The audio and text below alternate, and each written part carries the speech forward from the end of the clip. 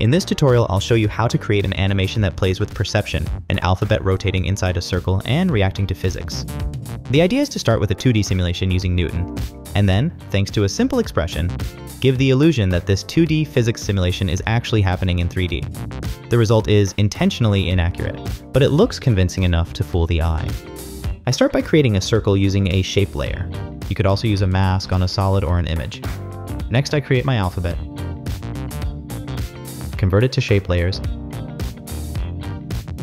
and delete the original text layer which is no longer needed. Then I move on to animation. I animate the rotation of the circle.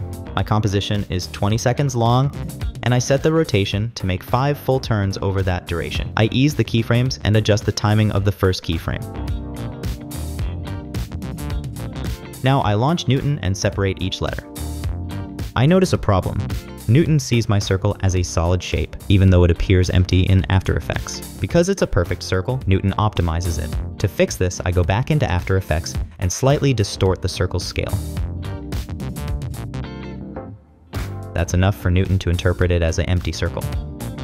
I increase the mesh precision to preserve the appearance of the circle. Back in After Effects, I delete the original alphabet layer. I select all my letters center their anchor points to their contents, then return to Newton. But now the letters appear stacked on top of each other because I've modified their anchor points. To fix this, I reset the body transforms. I set the circle to kinematic so it follows the animation from After Effects, and I run a first simulation.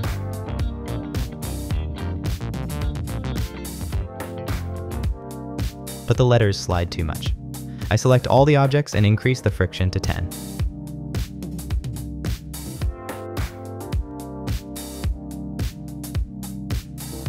That's better, but to push the effect further, I also increase the gravity.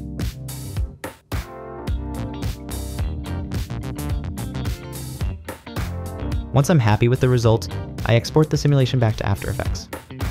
In the new composition generated by Newton, I select all the letters, enable 3D on the layers, and switch the rendering engine to Advanced 3D. In the geometry options of the layers, I increase the extrusion to give the letters some volume and the little trick that sells the illusion of 3D animation, thanks to Nick Greenewalt, I link the X rotation to the position with a simple expression, and copy it to all the layers. The result may be fake, but it's surprisingly convincing. Thanks for watching, and I hope this inspired you to experiment with physics and perception in your own projects. Don't hesitate to bend the rules. Sometimes a little visual trickery goes a long way. See you soon for more tutorials with Newton.